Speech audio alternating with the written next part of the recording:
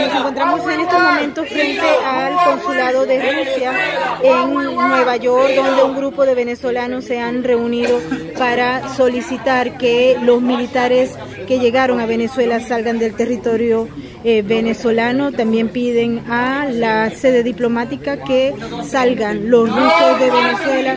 Ellos eh, nos han informado que no tienen problema con la llegada de ayuda humanitaria proveniente de Rusia, pero no quieren los militares en territorio eh, venezolano. Esto está ocurriendo en horas de la tarde de este jueves acá en la ciudad de Nueva York. Estamos haciendo este reporte para Te lo cuento News y les habló Maybor Petit. No Russian military presence in Venezuela. No Russian military presence in Venezuela.